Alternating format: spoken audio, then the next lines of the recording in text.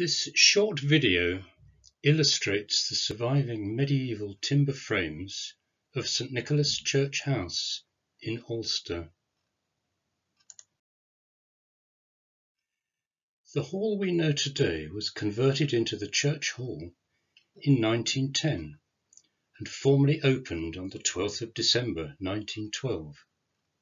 It had previously been a double-fronted cottage with central door between two bay windows with bedrooms upstairs. The original frames were inspected by a house historian after removing the 20th century cladding to reveal evidence of not one but two medieval houses. The timber frame in the rear wall of the hall being the back gable of a grand house, with a front gable similar to its surviving neighbour at number 13. The back house would have been a utility house for servants. The front medieval house had been replaced at some earlier time by the double-fronted cottage that has its roof aligned with the street and that is what became converted into the church hall.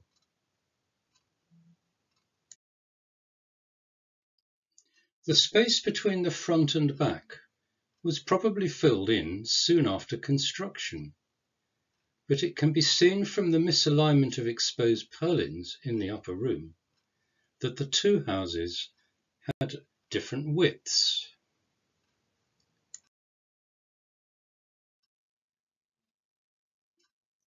The covered space eventually became the coach house for the rectory, and the back section became the stables, which remained in use until the mid-1960s.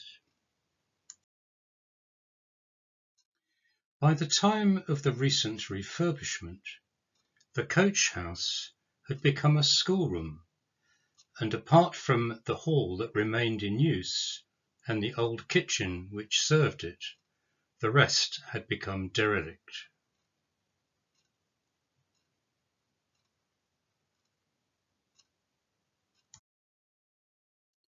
Here we see the transformed layout from how it was previously. The kitchen is in the old schoolroom. The office was in now in the old kitchen. The stairs where the stable entrance was for the groom. And the toilets where the stables were, and upstairs we have the upper room, a landing, and the hayloft room, which was the old hayloft.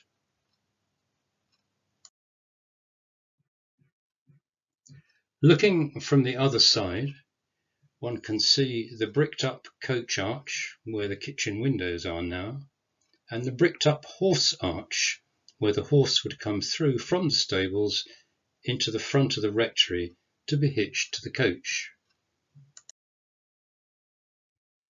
Here again we see the upstairs rooms, the upper room, which is actually two bays, a landing at the top of the stairs, and the hayloft room, often used for smaller meetings.